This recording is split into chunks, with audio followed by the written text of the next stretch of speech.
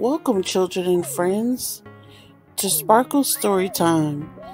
Today we'll be reading ABCs of Space by Chris Ferrie and Julia Kregenow. A is for asteroid. An asteroid is a big chunk of rock that orbits the sun. Asteroids are called minor planets because they move around like the sun around the sun like planets, but are smaller and oddly shaped. There are millions of known asteroids, and probably many more, even smaller ones. Most of these are between the orbits of Mars and Jupiter. B is for binary star. A binary star is actually two stars that orbit each other. Binary stars are usually born together, so they are the same age. The force of gravity on each star is the same and points towards the other star. The imagery center, the imaginary center of mass of the pair is the center of both orbits.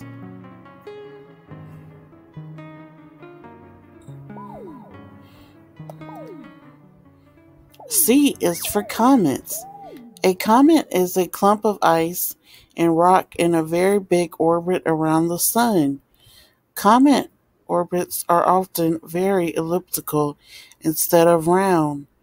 When a comet comes close enough to the sun, the sun's warmth melts some of the frozen gases, forming a tail pointing away from the sun. D is for dark matter. We can't see dark matter, but it makes up most of the mass in the universe. We know dark matter is there because its gravity pulls on the matter around it. Stars and galaxies, which we can see, move each move much faster than they should without dark matter. E is for eclipse. An eclipse happens when the Earth's moon and the sun are perfectly aligned.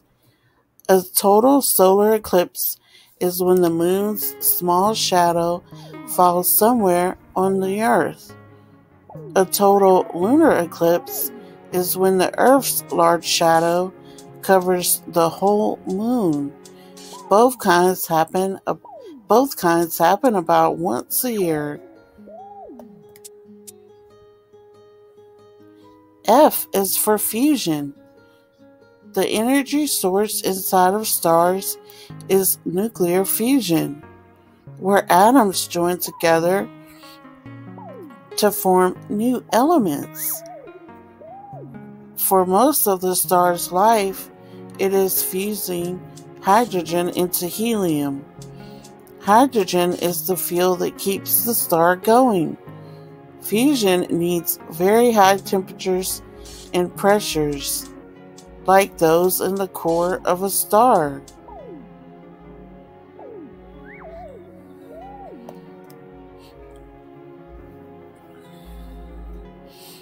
G is for galaxies. Each galaxy is a collection of up to a trillion stars all held together by their collective gravity. Galaxy shapes vary and can look like an ellipse or like our own Milky Way galaxy when it is shaped like a spiral.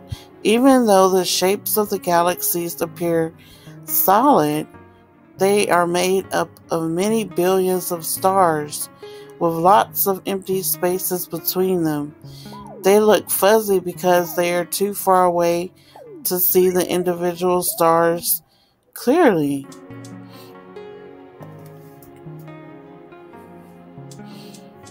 H is for habitable zone.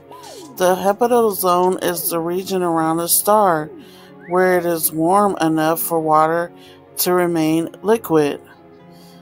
A planet in its stars habitable zone can have the right surface temperature for liquid water, a, necess- a necessity for life as we know it. Every star has a habitable zone, but not always a planet in it. I is for inflation. Inflation was the very rapid expansion of the universe shortly after the Big Bang. Right after the Big Bang, the expansion of space was extremely fast for a brief fraction of a second, spreading out all the matter and energy and making the universe vast. Gradual expansion continues today. J is for Jupiter. J Jupiter is the largest planet in our solar system. Jupiter and the next three largest planets, Saturn, Uranus, and Neptune, are gas giants that have no solid surface under their atmosphere. Earth, Venus, Mars, and Mercury are terrestrial planets and have solid surfaces. K is for Kepler's laws. Kepler's laws describe how planets orbit stars. Kepler's three laws of planetary motion state that one, orbits do not have to be perfectly round, but can be stretched out ovals. Two, planets move faster when they are closer to their stars. Three, planets in larger orbits take longer to go around. L is for light year. One light year is the distance that light travels in one year. Light moves very fast. In one year, light travels 10 trillion kilometers. The nearest star to our sun is Proxima Centauri, which is 4.2 light years away. Because it takes 4.2 years for its light to get to us, we see Proxima Centauri as it was 4.2 years ago.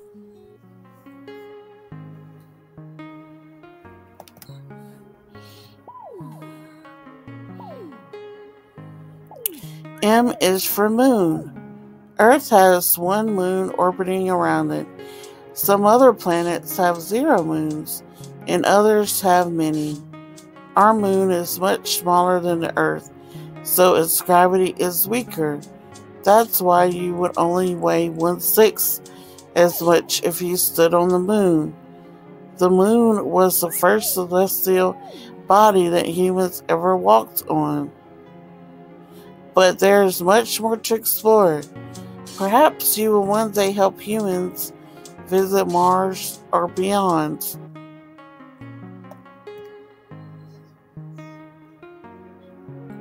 N is for neutron star. A neutron star is the collapsed iron core that is left behind after a large star dies. When a big star dies, it explodes off its outer layers as a supernova, leaving a very dense core behind. That core is only a few kilometers across, but it can weigh as much as three times our whole sun. If a neutron star gets too heavy, it collapses to form a black hole.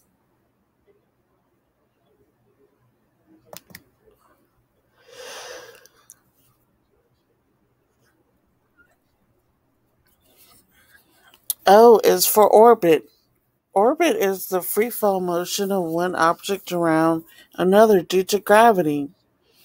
When one object falls around another with the only gravity acting on it, it is in orbit. Being in orbit requires enough sideways speed to avoid the two objects crashing into each other. If there were no sideways motion, gravity would pull the object straight down and it would crash.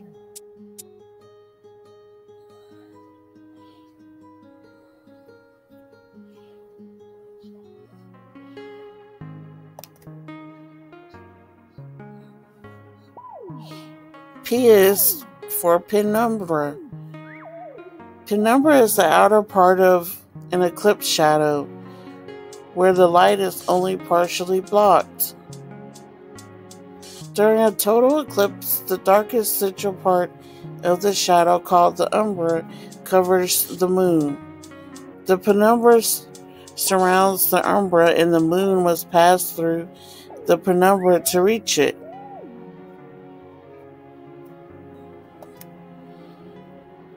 Q is for Q-star. Q-star.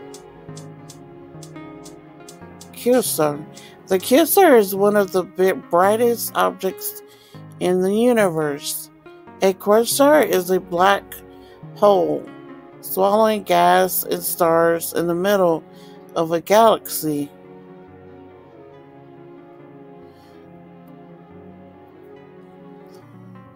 Though black holes themselves are dark, stuff that is falling into one heats up and glows brightly before it disappears. Some stuff can f- flow out in bright jets pointed above and below the black hole.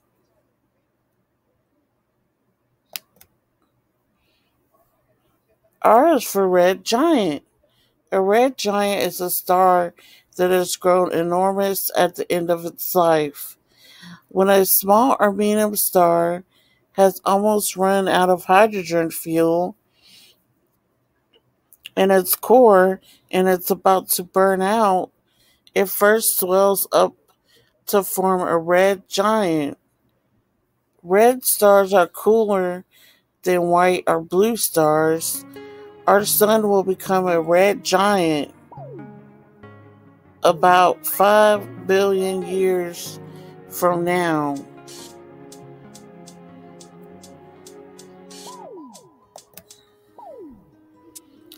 S is for satellites. Anything orbiting something else much bigger is called a satellite. Moons are natural satellites or planets. Communication satellites and space telescopes are examples of human made satellites of Earth that people launch its orbit on rocks. T is for tides. Tides are the bulging of the oceans caused by gravity. Gravity is pulled decreases over distance. On the near side, the moon pulls the bulge slightly away from Earth. On the far side, the moon pulls Earth slightly away from the bulge. Earth turns within both bulges once each day, making the tides go up and down twice per day.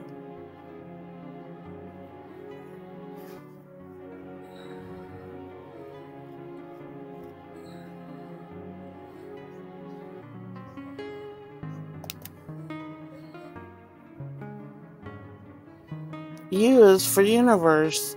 The universe is all the matter, energy, and space there is.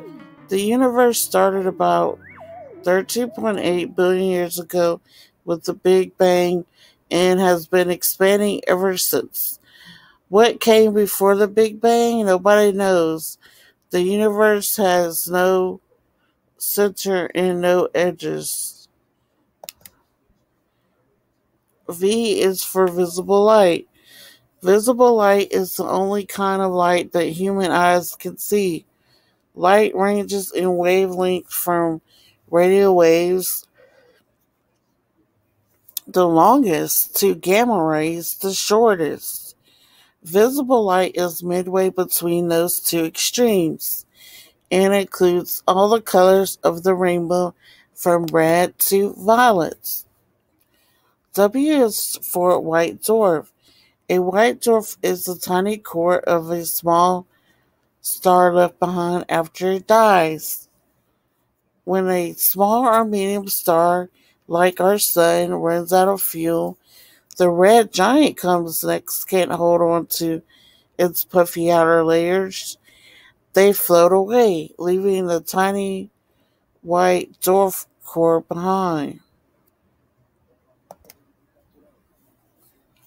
X-ray is for X-ray telescope. An X-ray telescope is a space telescope used to collect X-ray light. X-rays are a form of light just like radio waves, visible light, and ultraviolet. Unlike visible light, X-rays do not come through Earth's atmosphere. So X-ray telescopes must be in space above the atmosphere. Why is for year. A year is the time it takes the Earth to go around the Sun once. One orbit takes about 365.25 days, but we call a year 365 days. This means that our definition of a year is off by one day every four revolutions around the sun. To make up that day, we have leap years, 366 days in our calendar year, every four revolutions around the sun.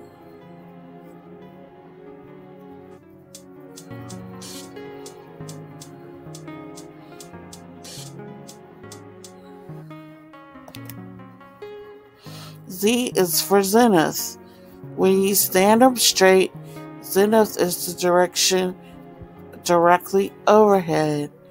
Zenith is a direction in the sky, much like north, south, east, and west are directions. Along the ground, no matter where you are standing on earth, the point in the sky directly overhead is called the zenith.